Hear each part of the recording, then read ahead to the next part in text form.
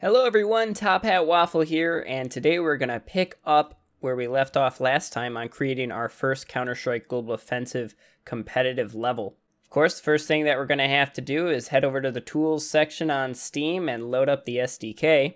Once that's loaded up, go ahead and double click on Hammer World Editor, after Hammer's loaded up, we can go ahead and load that last file that we were working on. So this is where we left off last time. We have a floor, two walls, and one player spawn. We're going to expand on this and kind of make it a few segment room with maybe a window or so in it, and then we're going to bring it into game. So the first thing I'm going to do is get no draw to be my active material, and we could do that either using the face edit sheet or we're just going to browse for no draw using the texture browser. Once that's selected, I can go ahead and switch my camera to 3D flat for now. I'm not really concerned with what textures are applied to what brushes. I'm just going to build out with no draw for now. So using my mouse to zoom in on my viewports and holding spacebar, clicking and dragging to go ahead and pan my views, I'm just going to kind of get myself where I want to be to make these walls larger. I already have the floor, so I'm just going to select the floor and the wall, and we'll make it a bit longer. Now let's say we wanted to put a small structure surrounded by four walls. So we already have the two walls, we'll just need to expand this wall out a little bit longer. And that's good. Now I just need to make the two more walls, and I can do that easily by just selecting this brush, holding shift and dragging it to the side. I'm also going to do the same with this other wall since it's already the correct size. Now because we have 3D flat on we can't actually see those textures. So I'm just going to switch back really quick and I just want to flip these walls 180 degrees since they already are textured. So going back to 3D flat, we can go ahead and start to build out a small little structure in the center. So using the block tool over on this side here, I'm just going to make what's going to be basically the foundation for this little building. So just drawing the outline in my top view and then resizing its height down in my side view and then hitting enter to go ahead and create that. So this will be the size of my little structure. It's going to be basically like a shed. So this shed is going to need four walls. To make these four walls, again, just using the brush tool over on the side, just going to draw an outline of what one of my walls is going to be in my side view, and then hitting enter. And then just doing the same thing in the top view. This brush was created inside of my foundation a little bit, so I'm just going to bring that up and then resize it after it's been made creating my third wall. And then lastly, what will be the doorway is just going to be two separate pieces. So we're not going to be super fancy with what this room or structure is. We're just going to put a flat roof on top, and this is just going to consist of me copying the floor up to the top. So with that done, we just need to put basically skybox around it. So the easy way to do that is I'm going to select these four outside walls and then just hold shift and drag them up to make a copy. This is where we're going to switch back to our textured viewport. We need to make these the skybox material. To select the skybox material, let's just head over to our texture browser and then do a search for tools skybox without any spaces. We want the regular blue Tools Skybox texture. What this texture does is it will define the bounds of our map where the sky is.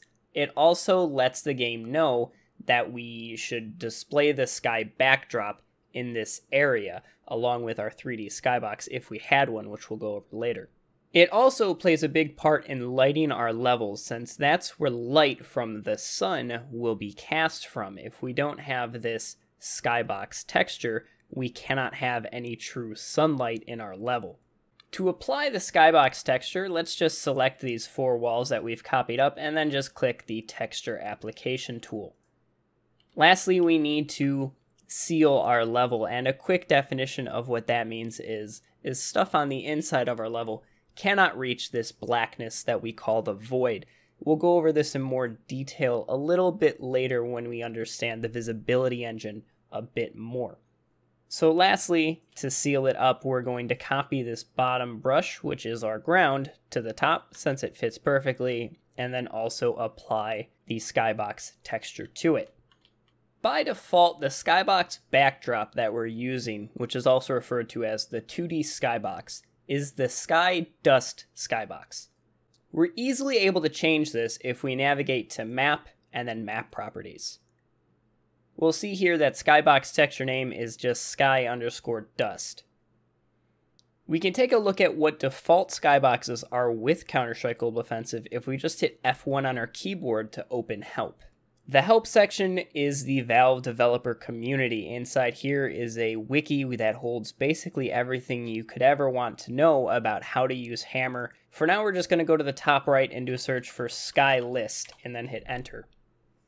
Once the page loads, we're going to go over to the table of contents here and then click on Counter-Strike Global Offensive. This will bring us down to where the CSGO skyboxes are stored. We can see that there's a quick preview along with the name here. I'm going to grab the Vertigo skybox. So I'm just going to copy the name and then go back to Hammer and replace Sky Dust with Vertigo. Lastly, we'll need some sun in our level, and to do that, we need to create a new entity. Selecting our entity tool and then placing a new entity in the level, double clicking on that in the 3D view to bring up its object properties. The object properties window is where we configure various entities in our map. We have a few tabs up the top, but this is the main one that we'll spend time in, the class info tab. Here we can change the class. We just want to change this from info player terrorist to light underscore environment. Light underscore environment is what will cast light into our level through the skybox, effectively acting as our sun. For now, we're just going to use the settings off the skylist page as they've conveniently given them all to us right here. So for Vertigo, I'm just going to copy down these settings into my light environment. So my sun angle is going to be 0, 65, 0. My pitch is negative 72.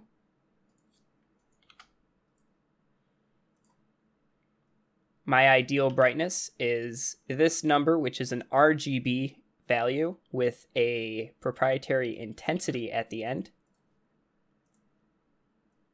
And our ambience. If none of that really makes sense to you, don't worry about it for now. We'll go over lighting later. For now, we just need lighting to actually be able to see our level after we've compiled it. We still have our little structure in the center that we actually need to texture, because if we recall, no draw isn't rendered.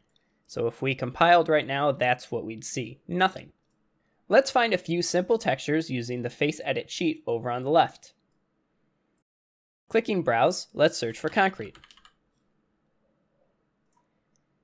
Once we find a texture that we like, we can double click to select it and then just right click on the faces that we want to apply the texture to. I'm hitting Z to enable mouse look in my 3D view, and then Z to turn it off again. You'll end up hitting Z quite a lot while working in Hammer. I want the roof to be a wood texture,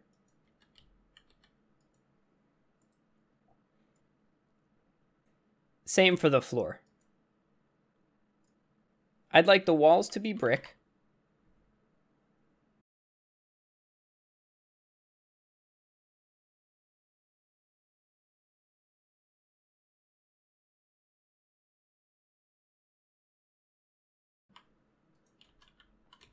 And then the interior walls to be plaster.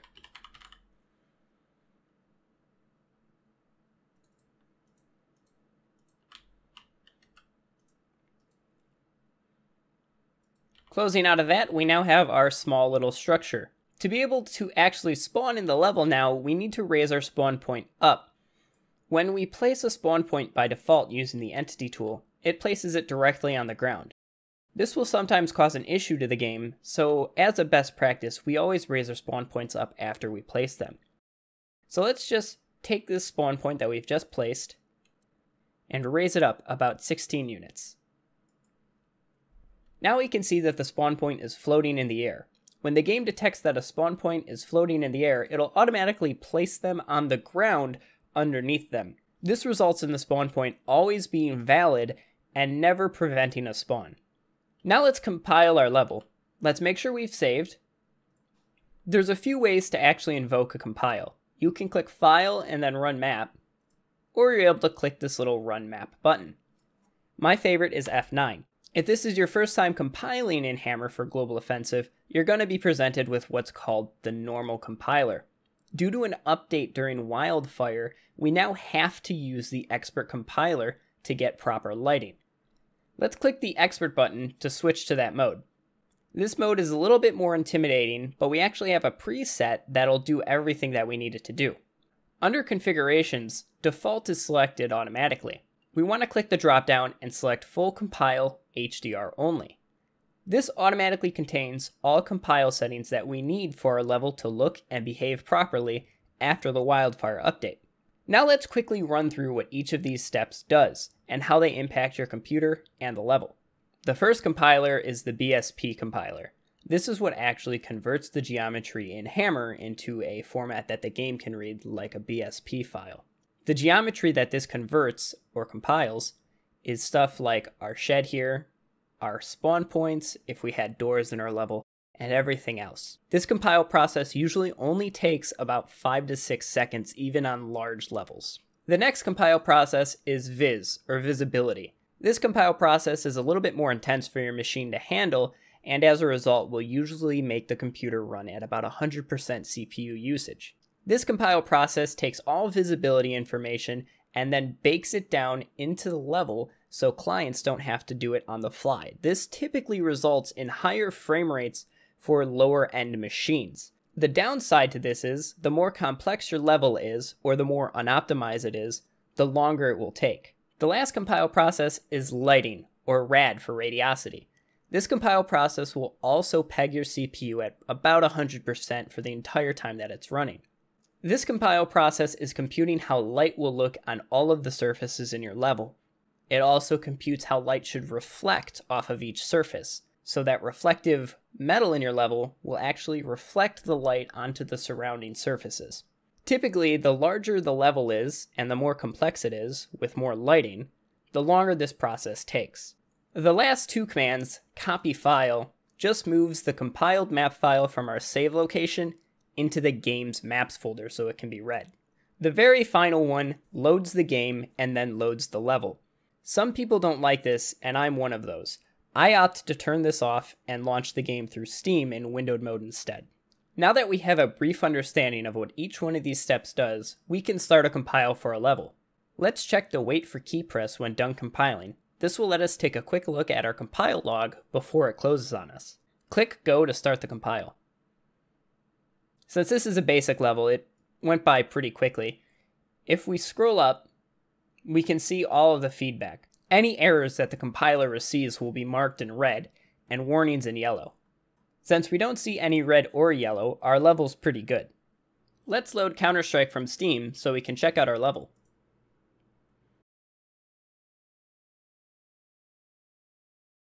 Since our level isn't on the workshop, we'll have to use the console to load it. Under Options, Game Settings, make sure Enable Developer Console is set to Yes. Then press the tilde key, which is to the left of 1 on your keyboard, to open the console. From here, type map, space, whatever you saved your map as. You should see it autocomplete in the list below. Select it, and then hit Submit to load the level. Once the level's loaded, we can click Continue and then join a team. Now that we've spawned, we see that we have our small structure in the middle, surrounded by four brick walls. Our skybox is no longer the dust sky, since there's not little villages off in the distance. This is the Vertigo 2D skybox. If you'd like to quickly preview what a different skybox looks like in your level, you can turn on SV Cheats 1, and then type SV skybox name, and then the skybox that you want to preview. So if we wanted to see sky underscore dust, we just type that in and hit enter. If we didn't change our skybox to vertigo, this is what it would look like instead. I hope you enjoyed this quick little rundown at how to get a quick little level working inside of Hammer, compiled and in-game, so you can run around and check it out. Join us tomorrow for the next one.